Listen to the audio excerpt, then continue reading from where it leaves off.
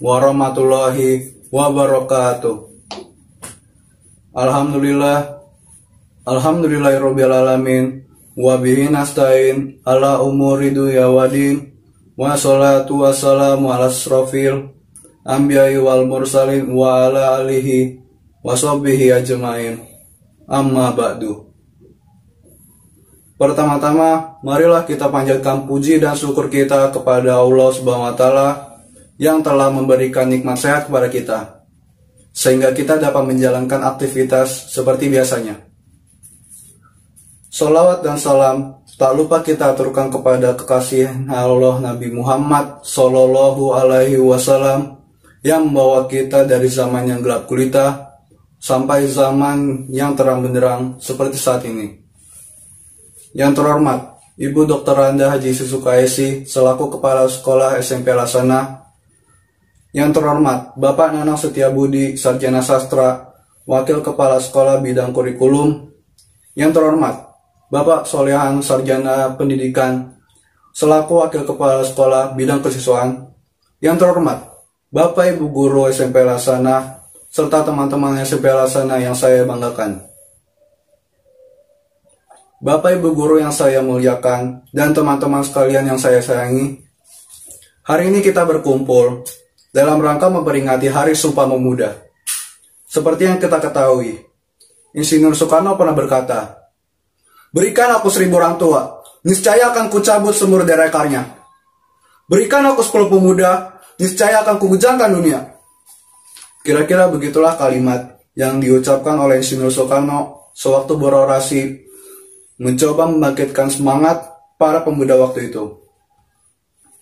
Tujuannya adalah untuk kemerdekaan negara kita tercinta ini. Kita, sebagai pemuda masa kini, atau orang bilang zaman Z, sudah seharusnya menjaga dan merawat kemerdekaan itu dengan hal-hal positif. Banyak cara dan banyak macam hal yang dapat kita lakukan.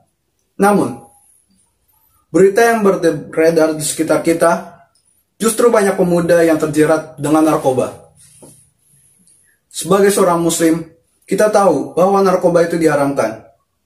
Sebagaimana yang dijelaskan dalam beberapa ayat-ayat Al-Quran seperti Surat Al-Araf ayat 157 yang artinya dan menghalalkan bagi mereka segala yang baik dan mengharamkan bagi mereka segala yang buruk.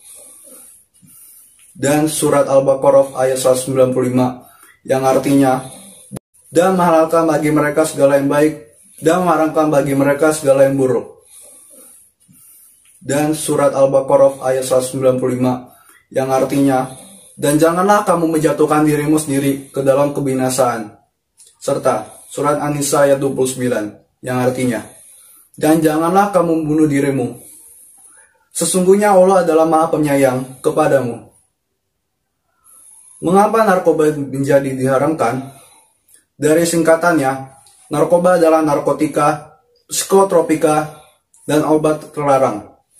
Selain narkoba, istilah lain adalah nabza, yang merupakan singkatan dari narkotika, psikotropika, dan zat adiktif.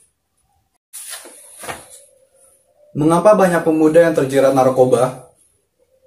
Kecenderungan pemuda memakai narkoba adalah memuaskan rasa ingin tahu atau sekedar coba-coba, ikut-ikutan teman atau solidaritas teman, mengikuti tren dan ingin terlihat gaya, menunjukkan kehebatan, merasa sudah dewasa. Lalu, bagaimana cara menghindar dari narkoba? Selektif dalam pergaulan. Pergaulan yang salah bisa menyebabkan kita terperosok, sehingga kita harus berhati-hati dengan teman-teman kita sendiri. Memperkuat mempertahanan spiritual. Jangan mencoba, miliki hobi dan aktivitas positif, berpikir jangka panjang, ingat masa depan. Sebagai pemuda, kita harus terus berpikir, berkata, dan bertindak positif sehingga kita dapat fokus dalam mengisi kemerdekaan dengan hal-hal yang positif. Seperti yang dikemukakan oleh Aristotle, good habits form at youth make all the difference. Kebiasaan baik yang terbentuk di masa muda menciptakan semua perbedaan. Akhir kata, saya mengajak teman-teman semua untuk menjauhi narkoba dan mengisi kemerdekaan dengan hal-hal yang positif. Dan Indra para marabani, siswa 9B SMP Alasana, say no to drugs. Bila taufiq walidaya, warido walidaya. Wassalamualaikum warahmatullahi wabarakatuh.